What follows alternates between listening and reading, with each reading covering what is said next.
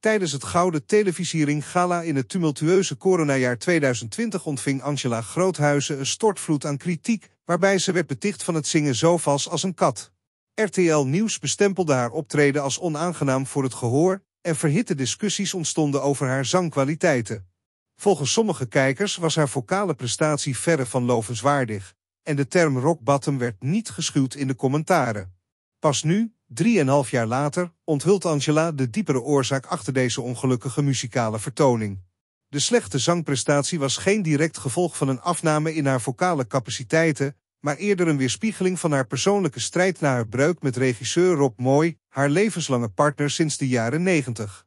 Angela wijt het falen aan een gebrek aan zelfvertrouwen, dat op zijn beurt werd gevoed door schaamte na de scheiding. De druk om schijn op te houden, overgenomen van haar moeder, speelde een cruciale rol in deze emotionele neergang. Mijn moeder was erg van keeping up appearances. Dat heb ik een beetje van haar meegekregen. Ik denk dat ik me daarom ook zo schaamde na de breuk met Rob, verklaart ze in Nouveau.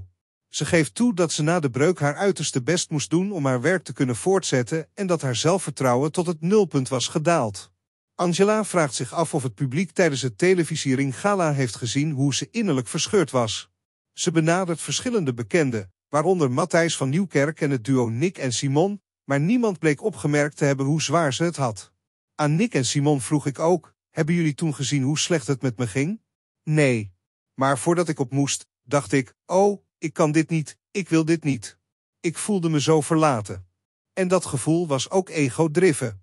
Het gevoel van verlatenheid was diep geworteld in Angela's psyche, voortkomend uit de breuk met Rob Mooi na 17 jaar partnerschap.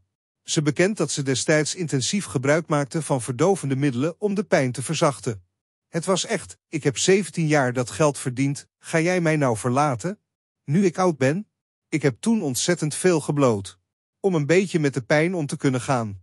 Inmiddels zijn Angela en Rob weer op een soort van verzoenende weg. Ze erkent dat ze nu extra dankbaar is dat hij weer in haar leven is. Het feit dat ze samen therapie hebben gevolgd, heeft geholpen bij het herstel van hun relatie.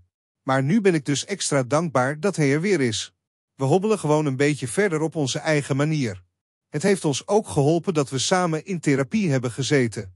Ondanks de hernieuwde verbondenheid met Rob ziet Angela zichzelf nog steeds als één op zichzelf staand individu, een positie die haar op haar 64ste goed bevalt. Ze benadrukt het belang van vrijheid, zowel voor haarzelf als voor haar partner.